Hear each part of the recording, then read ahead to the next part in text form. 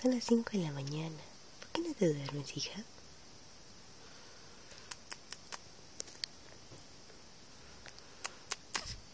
¿Ah?